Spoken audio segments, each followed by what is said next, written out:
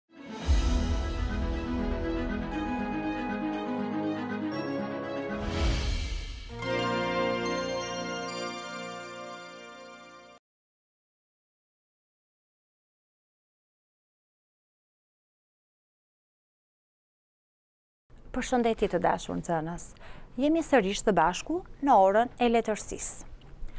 Tema për sot është punë me shkrim. Shkrimi i një CV-je, ora e parë.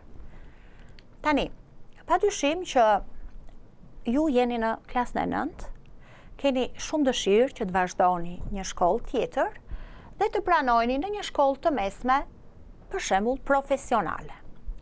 Numri i nxënësve që do të pranohen është i kufizuar, pra ka shumë kandidatë dhe juve ju kërkohet që të sillni një CV, pra të bëni një CV ose një kurikulum vite ose një jetëshkrim. Për të konkurruar pra ju kërkojnë që të ju kërkohet që të dorëzoni në sekretarinë e shkollës pikërisht një CV. Dhe padyshim që ju duhet të dini se ç'është CV-ja, përse përdoret, cilit lloj teksti jo letrar i përket dhe çfarë të dhënash përmban një CV. CV, zakonisht CV-ja hartohet kur kërkohet një punë, sepse dhe gjithë të dhënat që kërkohen janë të detajuara dhe të specifikuara. CV vjen nga latinishtja, pra curriculum vitae, që do të thotë një jetëshkrim. CV-ja është burimi i parë informues nëpërmjet të cilit punëdhënësi vendos nëse do ta shqyrtojë një kandidat ose jo. Të dhënat duhet të jenë të sakta, të hartuara me kujdes dhe të lexohen shpejt. Zakonisht ajo shkruhet në një format ë, elektronik.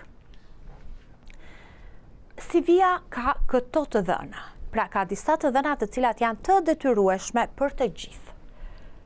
Të dhënat personale, Nuk mund të kuptohet një CV pa vendosur emrin, mbiemrin, adresën, numri i telefonit, email-i, sepse janë të dhëna të detyrueshme me të cilat juve ju kërkohet që të të keni pra të vendosni kontaktet tuaja. Niveli i njohjes së gjuhëve të huaja, më falni, arsimi dhe më pas Niveli i njohjes së gjuhëve të huaja, niveli i njohjes së programeve të ndryshme kompjuterike, ë, mund të përmendni aty edhe përvoja, hobi, aktivitete për të cilat jeni trajnuar apo në të cilat ju keni marrë pjesë. jo të detyrueshme, duhen përzgjedhur ato aftësi që japin përparësi nëse CV-ja do të shqyrtohet për t'u pranuar në një shkollë me një profil të caktuar, aftësitë në komunikim, aftësitë drejtuese, aftësitë për të punuar në grup, aftësitë për sporte të ndryshme, eksperienca të punës vullnetare. Atëherë, ju keni një format ë të CV-së dhe detyra që ju do të bëni është që ta plotësoni këtë CV. Atje do të shikoni me kujdes se çfarë të dhënash të detyrueshme ju janë kërkuar dhe më pas mund të shtoni të tjera, të cilat nuk janë të detyrueshme. Punë të mbarë!